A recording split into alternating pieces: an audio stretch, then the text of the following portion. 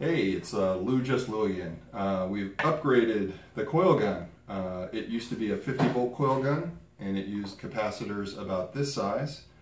And now we've pretty much doubled the size of the capacitor and these are 100 volts. Everything else really is the same. It's the same triac down here to fire and trigger the mechanism. Got a couple of voltage gauge and amperage gauges on the other side where you can't see. But I did have to make a few changes. Um, we've got a lot more bracing in here now because the carriage was actually ripping itself apart. I've also added a block, a breech block here at the back to keep the coils from sliding backwards. That was a problem. And then I put this little pin in here to pin the actual tube itself into the frame because it was sliding as well a little bit. Um, we've also actually put nails in the table to keep the whole thing from sliding backwards. And for safety, we now have a plastic uh, cover over the side so that uh, little fingers can't get near it. So it's uh, roughly twice the voltage.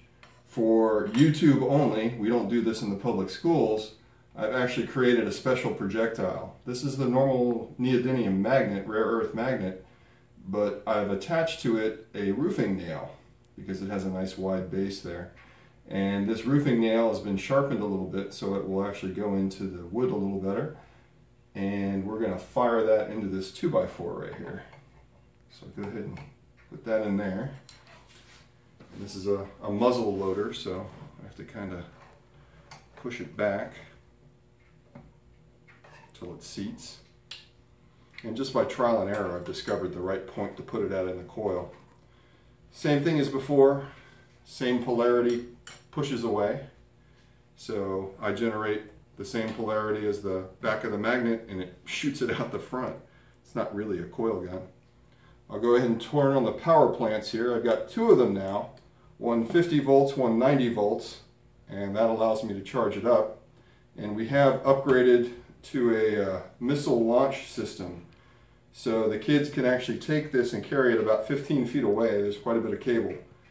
Turn the light on so I know it's armed and then fire it. So we always leave it switched off. I'm going to go ahead and charge it up. It does take a little longer to charge now. So now we're charged to 100 volts. One. that was a good one.